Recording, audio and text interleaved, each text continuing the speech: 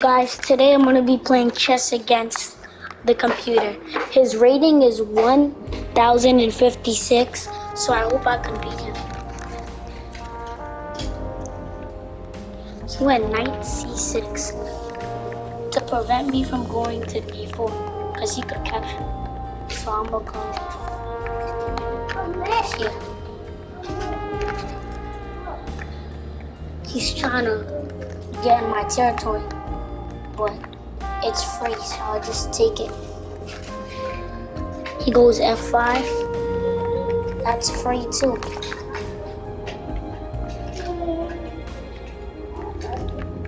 Um,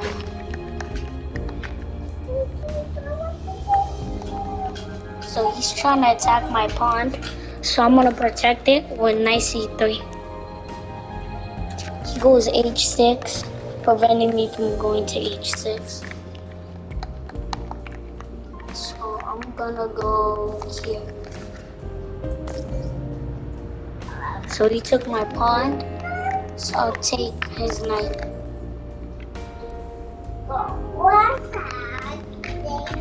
So he's trying to attack my knight. So I'm gonna go I'm gonna go here. What? I'm gonna go back. Oh, he forked me. He put two of my pieces in danger. Well, this is worth more, so I'm gonna give him a check.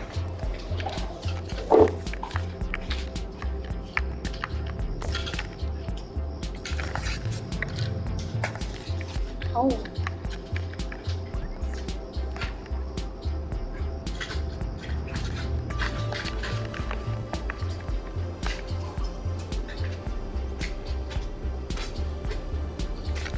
Wait, I could do it. Hold on. Oh no.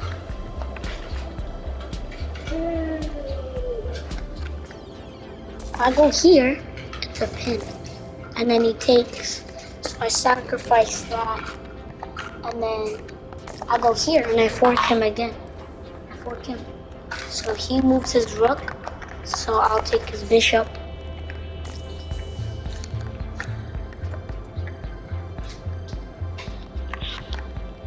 So, and then I'll fork his queen and pawn.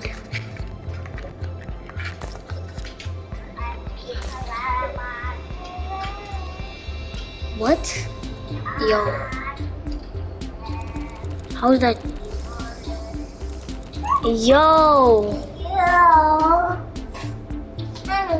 That's crazy. I didn't even see the holder.